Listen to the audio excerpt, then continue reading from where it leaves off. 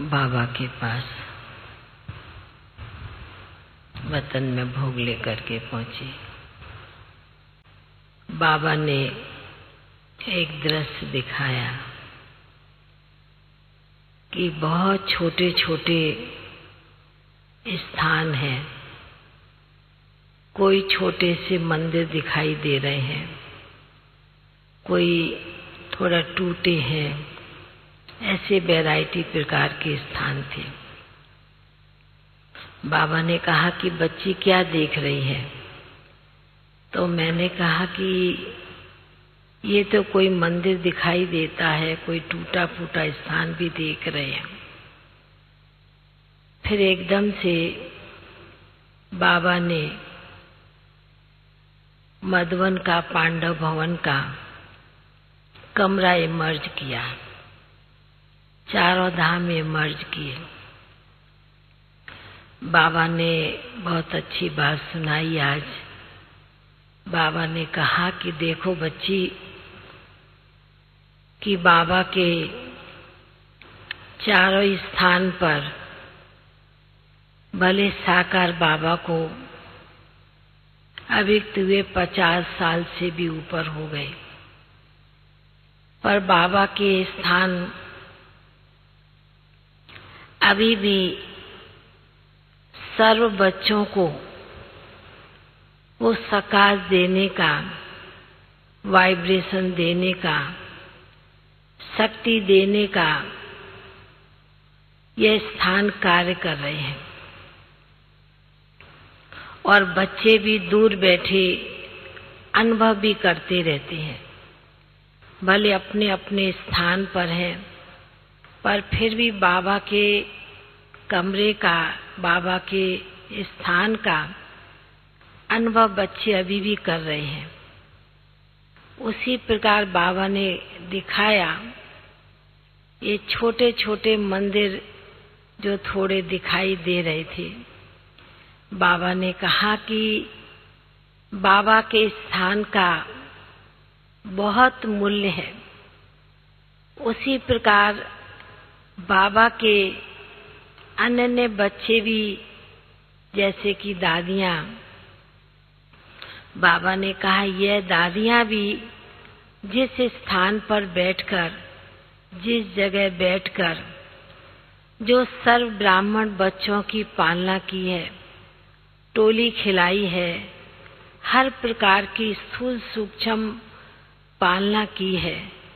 तो बाबा ने कहा, वह भी, स्थान भी उस जगह भी शक्ति भर जाती है। तो बाबा ने जो छोटे स्थान दिखाए, बाबा ने कहा कि इसी प्रकार, जिस प्रकार बाबा के जो बच्चे जिस स्थान पर भी रहते हैं, जहाँ भी रहते हैं, भले छोटी सी कुटिया भी क्यों ना हो, पर बाबा ने कहा कि उस स्थान पर भी आप बच्चों को ऐसी तपस्या करके, ऐसे वाइब्रेशन बढ़ने हैं। क्योंकि वाइब्रेशन ही बहुत बड़ा कार्य करते हैं। तो बाबा ने कहा कि जिस प्रकार शुरू शुरू में यज्ञ में बड़ों ने, बाबा ने, दादियों ने वाइब्रेशन की इतनी अच्छी बात सुनाते थे कि लौकिक में कभी किसी के घर जाते थे तो कभी किसके बिस्तरे पर किसके खटिया पर नहीं बैठते थे, क्योंकि वाइब्रेशन काम करते हैं। उसी प्रकार आप ब्राह्मण बच्चों के जो श्रेष्ठ संकल्प है, श्रेष्ठ कार्य तो है ही, पर श्रेष्ठ संकल्प का सारा आधार है हमारे अपने कर्मों के ऊपर, हमारे वाइब्रेशन के ऊपर। तो बाबा ने कहा कि इसलिए कई जो स्थान पर बैठे हैं बच्चे तो बाबा ने कहा कि इसलिए भक्ति में भी छोटा छोटा मंदिर बनाते हैं। यथाशक्ति कोई टूटा होता है, किसकी मूर्ति भी कैसी होती है। पर बाबा ने कहा, फिर भी दुनिया के लोग उनकी मान्यता दे के चलते हैं।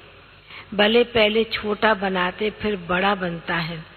तो बाबा ने कहा कि भक्ति में जो यादगार चला रहा वो व्यर्थ नहीं जाता है। जिस प्रकार भक्ति में जो मंदिरों की सीढ़ी भगत बच्चे चढ़ते हैं, उस सीढ़ी पर भी वो माथा टेक के चलते हैं। क्योंकि उसमें भी एक तो नंगे पाँव चलते कोई चप्पल पहन के नहीं चलता।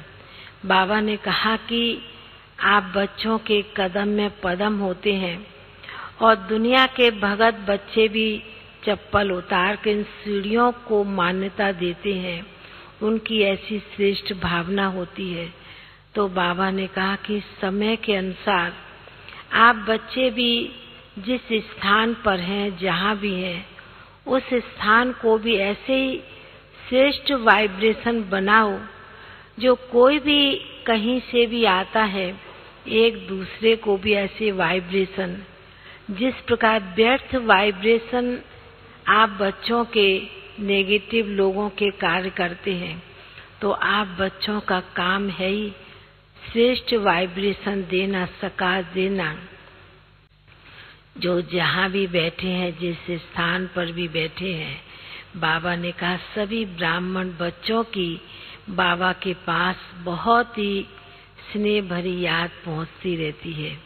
ऐसे कहते सभी के प्रति याद प्यार लेते हुए नीचे पहुँच गई। ओम शांति।